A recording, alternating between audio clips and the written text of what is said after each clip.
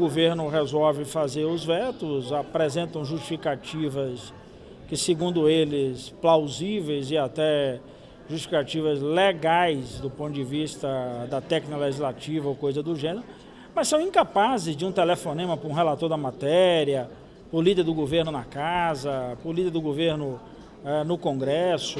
Não há nenhuma troca. Então, o veto mexe num dos pontos centrais, que é um ponto que agiliza a instalação da infraestrutura.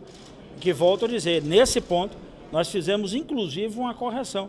Usando o mesmo texto, portanto, não inventei emenda, não aportei emenda, usando o que tinha no próprio texto, para que a Anatel pudesse acompanhar exatamente a questão da necessidade da instalação dessa infraestrutura. Então, portanto, agora é. Fica só o acompanhamento da agência, que aliás, se era para vetar, então vetava tudo. Mantiveram o primeiro inciso que diz a agência vai acompanhar. Mas depois embaixo a agência vai acompanhar o quê? Se a parte de baixo da instalação foi retirada. Então a agência vai acompanhar o quê? Terreno na Lua?